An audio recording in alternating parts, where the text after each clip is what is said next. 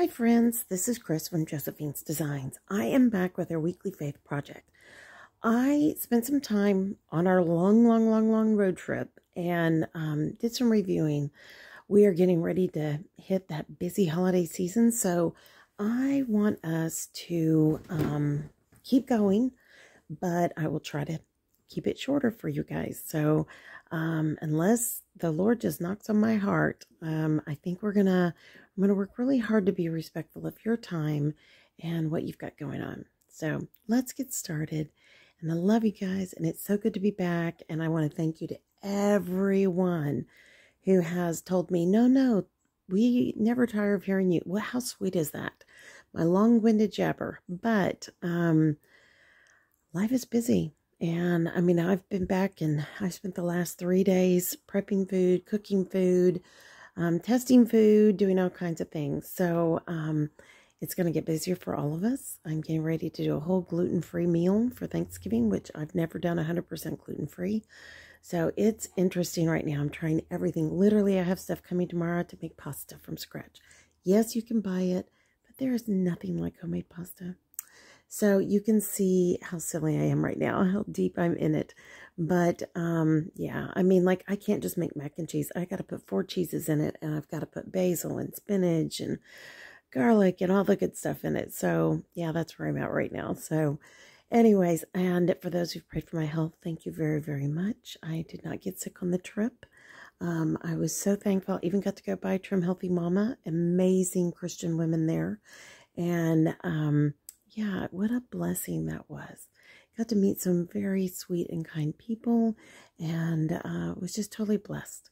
Um, the only probably hiccup in the whole thing was Nashville, and that uh, was one restaurant, and we were just like, wowzer. uh, but um, it was there was a lot of lessons learned there, and I think that's great. I think it's great for us to learn from what happened. So, anyways, that's a quick summary of the trip. I have some things I'll share with you guys um, in the next um, couple of weeks. Um, I will not get a probably a planning video up this week. Um, I missed it yesterday, and I just don't see me getting it done today before um, tomorrow and Thursday. We will be in um, in my husband's office, so and I will be running errands the whole time. So I will not be probably in the office, but just eat lunch with him. So, all right, friends, um, let's pray and we'll get started. Now, I'm really going to pray this time. okay. Dear Heavenly Father, thank you so much for today, Lord. Thank you for the beautiful sun today. Um, thank you for just the damp, cold chill that's been around here. You've, oh, you've just done a beautiful thing and, and just taken it away today. And I just thank you so much. Lord, as we go through this lesson, we give everything to you, the good and the bad. We ask you to teach us in everything that you're wanting us to go through, Lord, each and every one of us, God. Please be with each person who hears my voice. I pray that you will bless them for just the desire to seek and know you better, Lord. And Lord, as we go through this, God, help my words be your words and none other. Lord, we give this time to you. We pray that it is totally pleasing to you and that we can learn and grow in our faith in you, Lord. In Jesus' precious name I pray. Amen. Well, one of the ways I'm keeping myself tied um, so I won't be too long is my phone camera is pretty loaded because we were on the trip. So there you go. All right, friends, let's get started. We're on week four, page 52.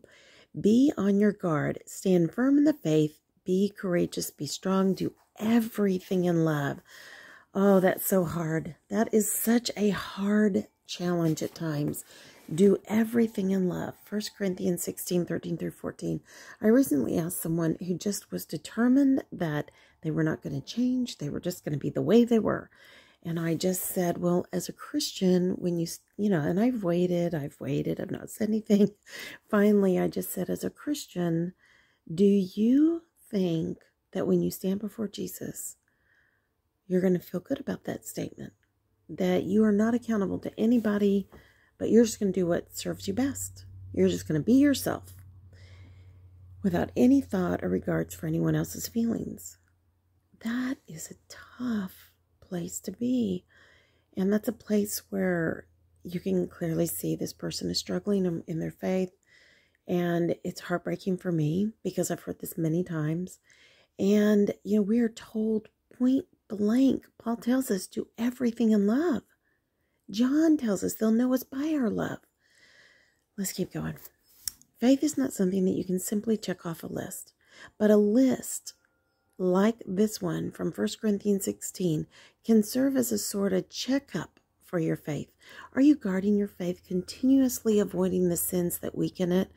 Are you standing firm, relying on God's strength and not your own? Is your faith bold or weak and hidden away?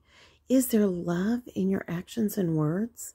If your faith isn't all it should be, turn to Jesus, the one who perfects your faith. As you consider this list, is your faith what it should be? I'm going to be honest, my faith isn't what it should be. Um, there are things that I feel very blessed and feel like it's a no brainer, and I totally get it, and I totally accept faith. What in those, I have faith in those parts of my life. Then there's parts of my life where I just think, how can I do this the rest of my life? What, how, how do I handle this? And then I think about Esther. She was created for times like those. You and I, my friends, are never given more than what we can handle we must absolutely examine our own hearts and what the Lord has put in our path. And we must determine to trust Him because if we don't determine to trust Him, we're going to get swallowed up. It'll get too big for us. It'll, it'll just, it can cause us to either become bitter or better. And those are the things you have to consider. Do I want to do better? Do I want to please God? Do I want to serve Him with every part of my heart? And sometimes it has to do with serving those that are not lovable. I just watched a video. Um, it was on like Up or Hallmark or something. I can't remember whichever one. It was a movie while I was getting all this stuff cooking, going back and forth. And I was literally in here chopping my spinach and, and basil, what was left from the garden that I picked before this, this last cool front came in. And um, it was about a gentleman who had Alzheimer's and how his family was handling it. And I thought a lot about my mom because when they went to see the neurologist, I knew all of those things and had been a part of it many times. And when my mother looked at me, um, like, is that right? I couldn't answer. And I remember the neurologist getting mad at me saying, you know, hey, well, oh, oh, you can't answer for her. And I said, I'm not answering for her. She already answered. I'm just reassuring her now because she didn't know. There were things she didn't know. She couldn't tell you what county she lived in at times. She couldn't tell you what town she lived in. She couldn't tell you her own phone number, but she could somehow remember mine. Times like that, I look back at how I handled that, and there were things that I remember looking at my mom saying, You're doing great. You're doing great. Because every time we'd leave that doctor's office, she'd look at me and she'd go, Did I do okay? And I said, Mom, you're doing perfectly. Don't even think twice. I'm so proud of you. But then when things went wrong, I didn't always handle it well. Faith examines itself. Who am I to judge this person who's saying this to me here recently? These statements. But I must look at my own life and I must determine what is it that I need to change in me. So right now my prayer is not change that person, change me, God. Change me. Change my heart. Help me know how to love. Help me know how to serve.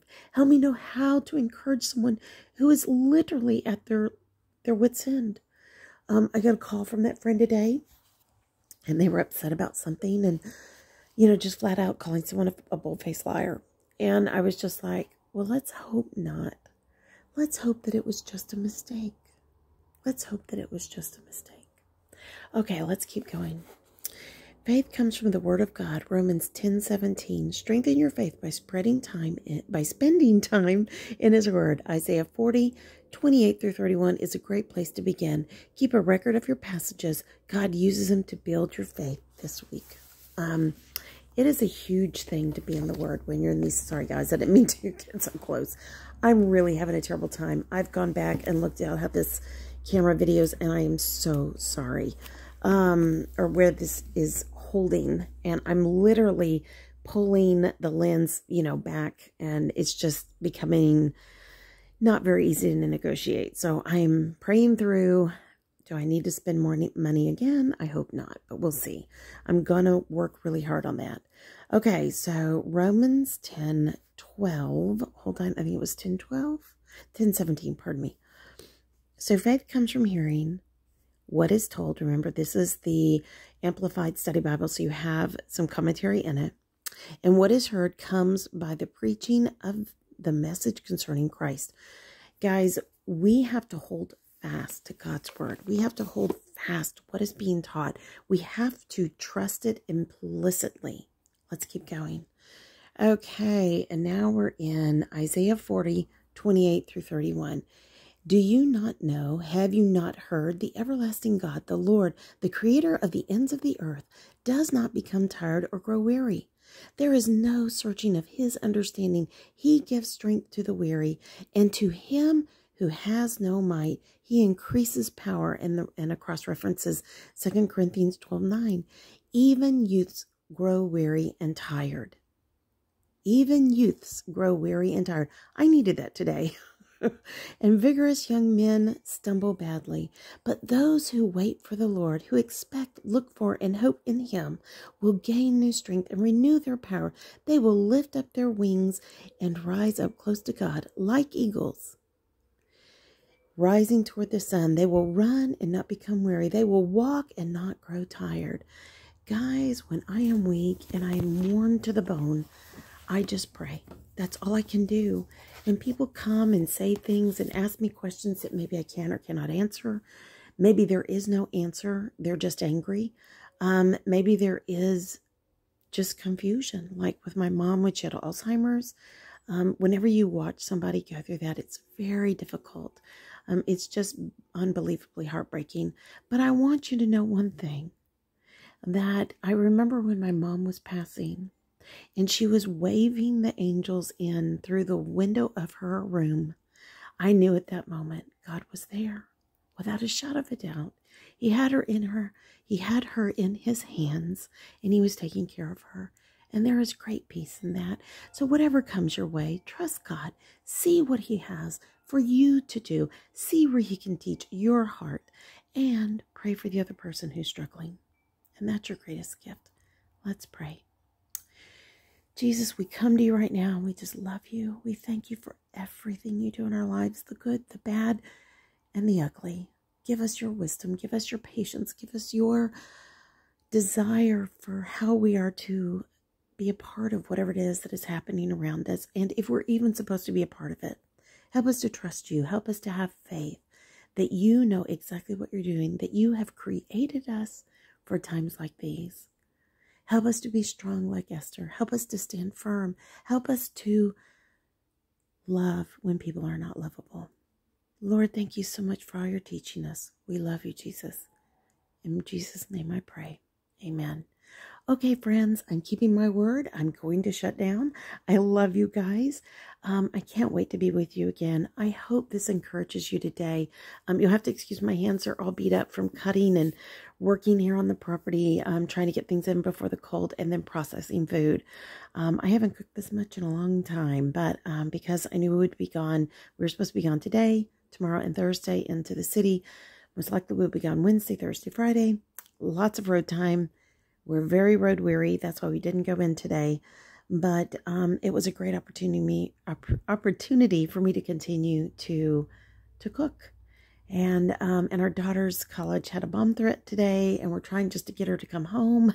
So, you know, oh no, we're fine. It's all clear. It's fine. My husband's like, get her home. So I may have to drive over and get her. But anyways, it's all good. All right, guys. I love you guys.